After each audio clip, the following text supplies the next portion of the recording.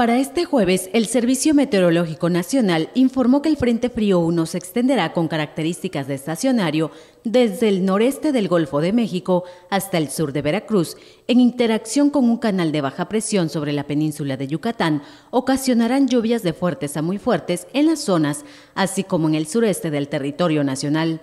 Asimismo, la masa de aire asociada al sistema mantendrá evento de norte de moderado a fuerte en las costas centro y sur de Veracruz, Istmo y Golfo de Tehuantepec. Para Tabasco este jueves, el Servicio Meteorológico Nacional prevé lluvias de 50 a 75 milímetros, cielo nublado durante el día con lluvias puntuales muy fuertes, acompañadas con descargas eléctricas.